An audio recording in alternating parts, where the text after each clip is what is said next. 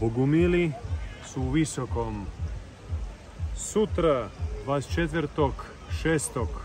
imat ćemo kratku promociju uz pjevanje bogumilskih napjeva odmah iza predavanja Semira Osmanagića, našeg dragog prijatelja, u 18 i 15 sati. Dakle, 24.6.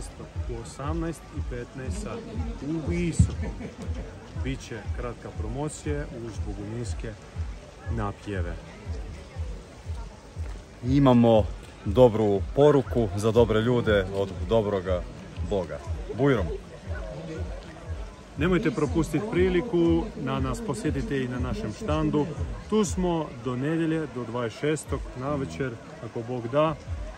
Izlažemo naše knjige, uživo možemo porazgovarati, pomoliti i odgovoriti na vaša pitanja. Iskoristite priliku da se vidimo, da se upoznamo, a još ostajemo par dana u Sarajevo i onda naš put vodi nas prema jugu, u Mostar i Split. Ako ste negdje na putu, javite se, rado ćemo stati i porazgovarati.